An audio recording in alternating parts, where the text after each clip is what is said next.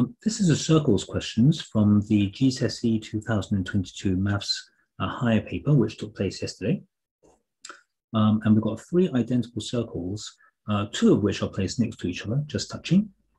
And then the third one is kind of intersecting both of them and in the centers of the other two circles. So if we were to say that A is a circle of one middle of um, one circle and B is the middle of the other, uh, then this is the third one in the middle. Um, so A and B are the circles A and B are just touching, and circle C is just like plump smack in the middle between two, where it touches the midpoints of the other two, um, and the midpoint itself lands on the center of the of two of two circles. And we're asked to work out the kind of the shaded region in between.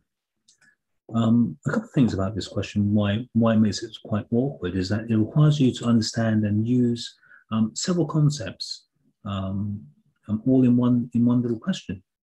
Um, so before we even try to figure out what this area of this shaded region um, is, is that really have to try and draw in a few lines just to help find what on is actually going on. And the great thing about circles is that um, the midpoint from the middle of the circle to every single other point on the circle is always going to be the same distance. Um, and that's incredibly helpful because it means I can draw this line here, fully confident knowing that that's four centimeters. I can also draw another line from here because it's four centimeters all the way around no matter where I go. Um, I know that this is also going to be four centimeters. And likewise, from the middle point C, well, I can draw a point on this circle, knowing that it's four centimeters. And I can draw another one from here, again, knowing that full well that this is going to be exactly one one four centimeter line. Um, now I'm drawing one more extra line, um, which I may not be too certain of what the length of this one is because there's no guarantees that there's four centimeters. But, but, but, if I drew a line down from here to here, I can guarantee that that's going to bisect. It's going to bisect that four centimeters. And likewise, this line is going to bisect that four centimeters exactly in half.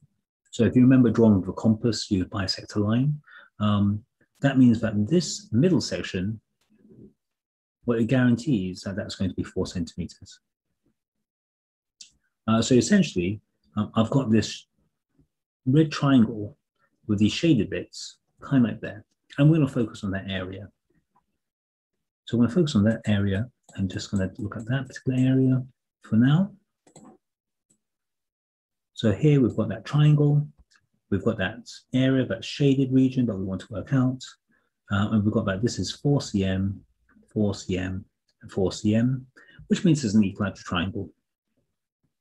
So if we look at the actual, this white section here, this chord here, well, that must be the same as this chord because this line is four centimeters and it's the same circle. And if this is line four centimeters and that's also the same circle, these red shaded areas must all be equal. They've all got to be equal. Um, and that's quite handy to know. Because now I can say this. The area of the shaded region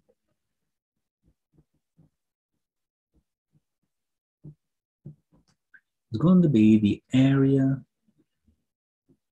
of the triangle minus two of the chords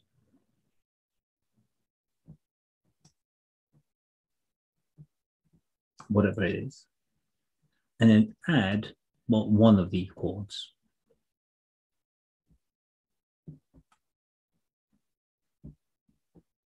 Um, which means that it's going to be the area of the triangle, because the chords are all the same area, and it's going to be minus just the area of the chord, or area of one chord anyway. That'll be the area of the shaded region. And then I've got to take this and multiply by two, because there's two of them. So that's really what we're aiming for. So we need to find out the area of the triangle and the area of the chord, and well, subtract the chord from the triangle and multiply by two. So now let's concentrate on working out the area of, let's say the triangle, because the triangle seems a bit easier. Oops.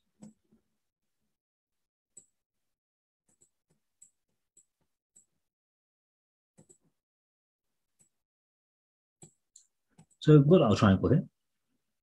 Well, we know that this is four, four, and four at the top. And well, I'm going to cut this in half just so that we can work out the area of it. And that means we form two identical right angle triangles of two and two and diagonal length of four. Uh, we don't know what this perpendicular one is, uh, so I'm just going to put A for now, um, which means that the area of this triangle would be, well, 2 times A is the area of the triangle.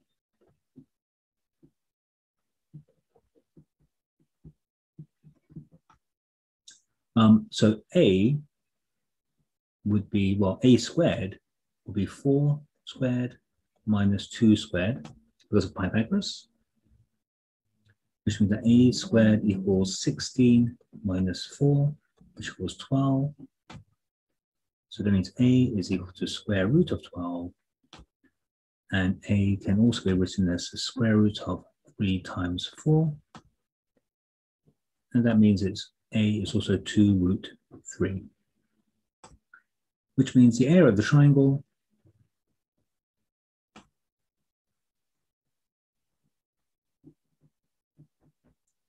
equals 2 times 2 root 3 which equals 4 root 3.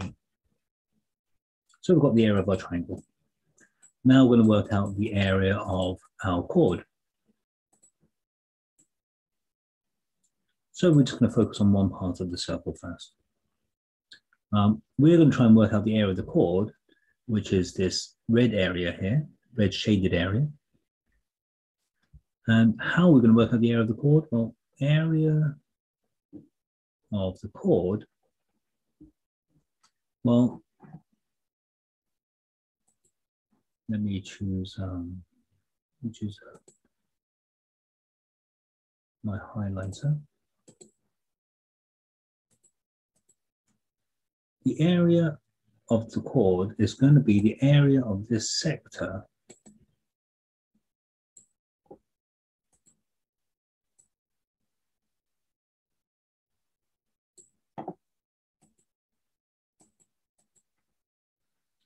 It's going to be the area of the sector.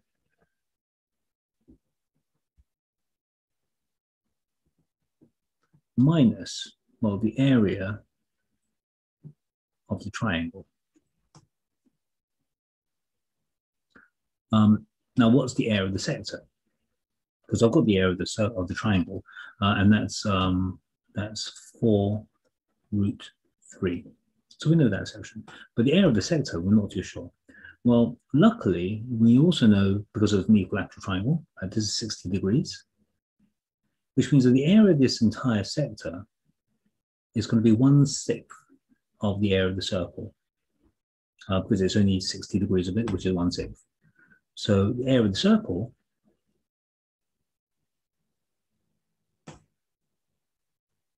equals pi r squared.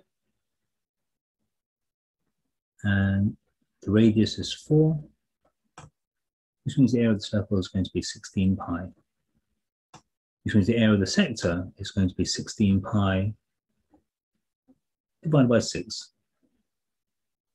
And we're going to minus the area of the triangle, which is 4 root 3, which makes the area of the chord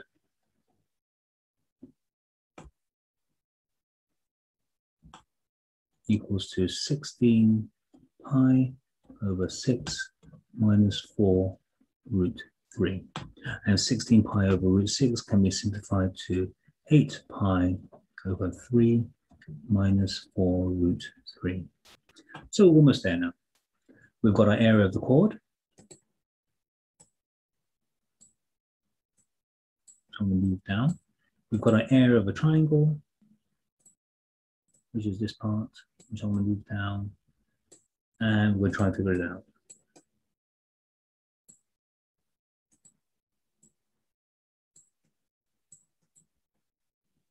Now, remember we said that the area of the shaded region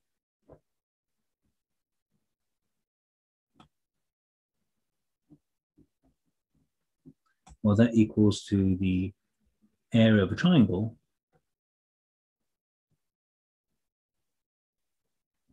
minus the area of the chord.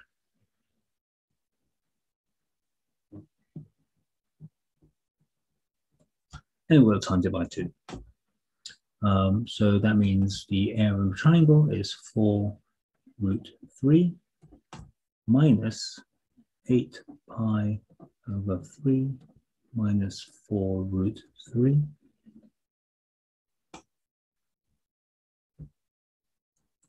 And when we open the brackets, well, what we get 4 root 3 minus 8 pi over 3 plus 4 root 3 because negative times negative gives a positive. And that gives us, well, 8 root 3 minus 8 pi over 3.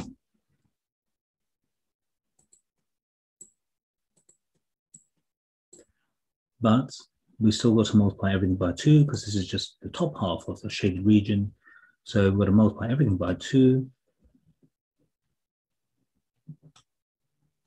which equals 16 root 3 minus 16 pi over 3.